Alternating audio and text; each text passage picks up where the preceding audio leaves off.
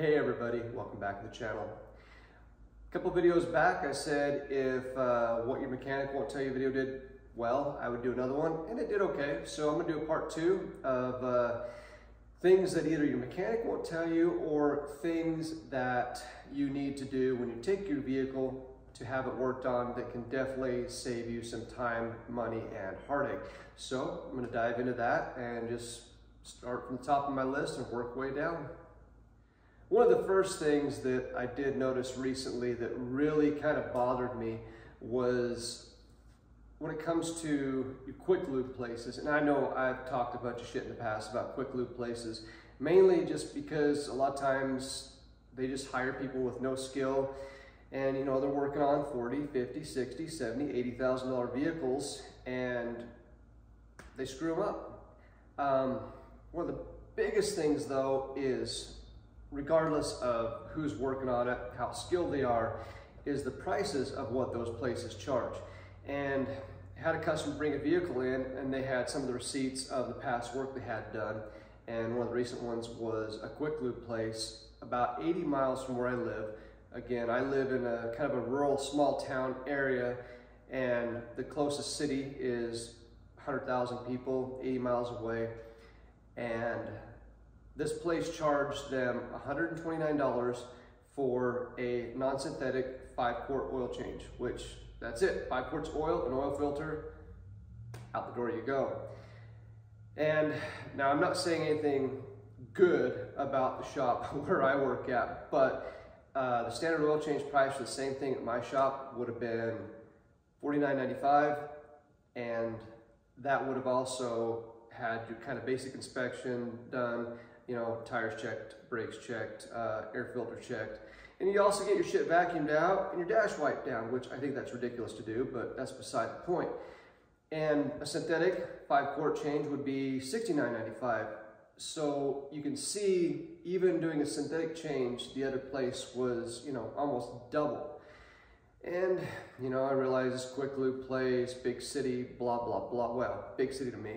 Um, you know, but that still doesn't make sense in my mind of why a five quart oil change should cost 130 bucks plus tax. It just really blew my mind.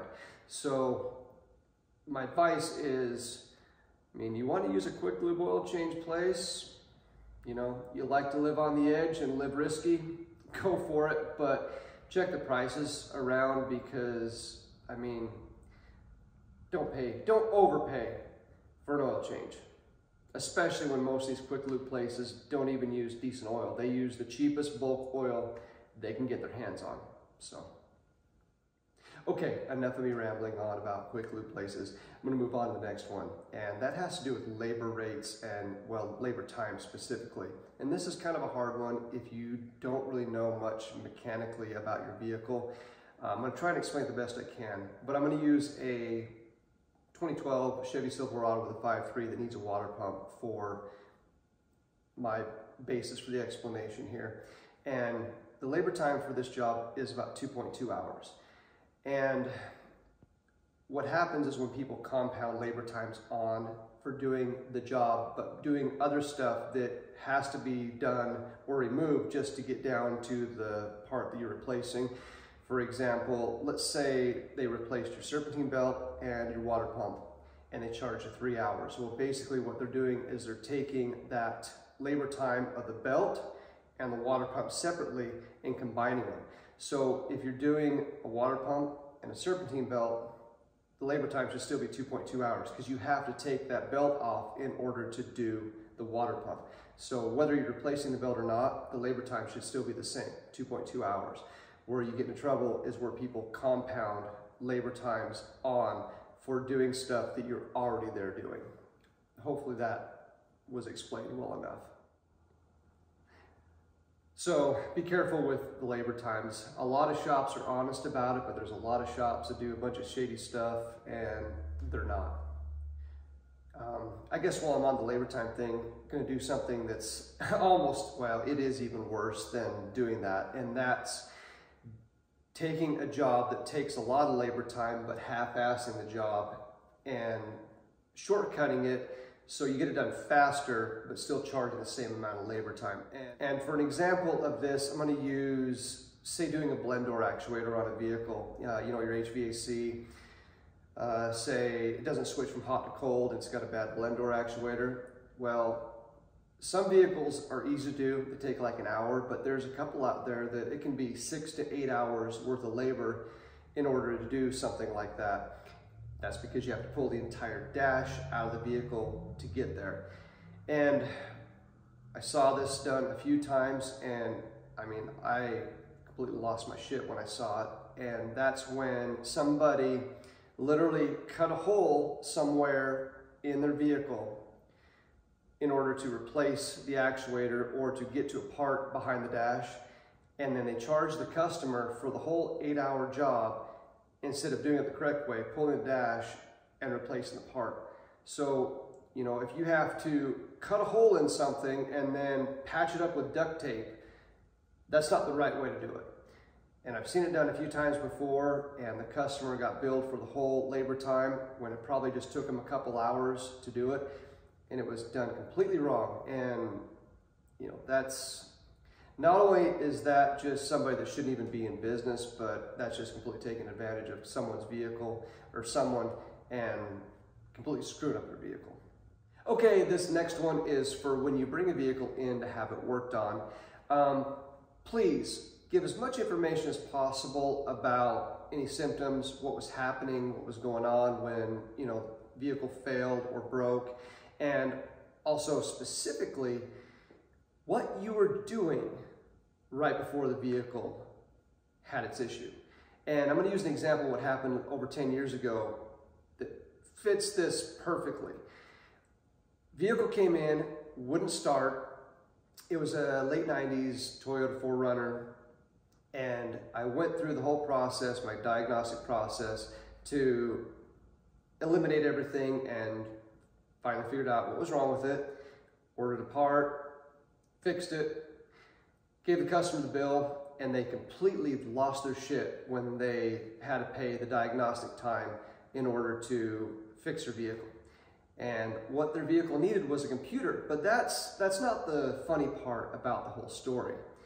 It's the fact that if they would have told me what happened right before, I could have fixed the vehicle like that.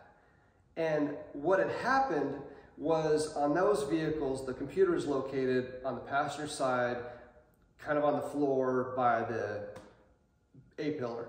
And right before their vehicle no longer would operate, they discharged a nine millimeter inside the passenger compartment of the vehicle. And where did the little lead projectile go? Right through the computer. Had they told me that they were a dumbass beforehand, I could have been like, okay, no problem. Yep, there's a hole right there. Needs a computer, ordered, replaced, done. But instead, they tried to cover up their stupidity and it cost them more in the end because they weren't honest. So honesty is very important when it comes to both sides of the spectrum.